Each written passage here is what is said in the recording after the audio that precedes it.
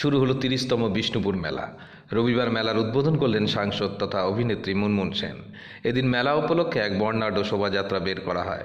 সেখানে উপস্থিত ছিলেন সাংসদ মুনমুন সেন, বাঁকুড়া জেলা পরিষদের সভাধিপতি অরূপ চক্রবর্তী, জেলার বিভিন্ন জনপ্রতিনিধি ও প্রশাসনিক আধিকারিকেরা। শোভাযাত্রাকে ঘিরে এদিন ঢল নেমেছিল রাস্তায়।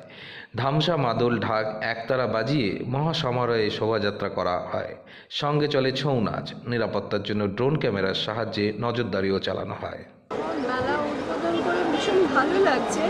তার আগে আমাকে বিষ্ণুপুর ঘোরালো সব গলিতে। একটা ট্রাকে করে অনেক লোক রাস্তায় রাস্তায় দাঁড়িয়েছিল। হলো যে আমি ক্যাম্পেইন করছি। অত লোক দেখে আমার উদ্বোধন মেলায় আমি একটা নতুন লক্ষ্য করলাম। আমি গত বছর থেকে দায়িত্বে আছি। মুখ্যমন্ত্রী আমাকে বিষ্ণুপুর মেলা দেখার জন্য পরিচালনার দায়িত্ব দিয়েছেন। খুব সুন্দরভাবে এবারে মানুষের মনে উদ্দীপনা বেড়েছে। গতবার যেমন হয়েছিল, এবার ঢল নেমেছিল মানুষের। শিল্পীরা দৌড়ে এসেছিল শুধু জঙ্গলমহল থেকে। বাদ্যযন্ত্র ছিল ধামসা মাদল ছিল, খোল কীর্তন ছিল, একতারায় গান গাইছিল বা ঢাকিরা ঢাক বাজাচ্ছিল। একটা সুন্দর পরিবেশ আমি দেখতে পেলাম। এবং বিষ্ণুপুরের সবচেয়ে ভালো লেগেছে, যারা এই পুরনো সঙ্গীতটাকে ধরে রেখেছে, সেই পরিবারের লোক বলুন বিষ্ণুপুরের মানুষ বলুন বাড়িঘর ছেড়ে রাস্তায় নেমেছিল।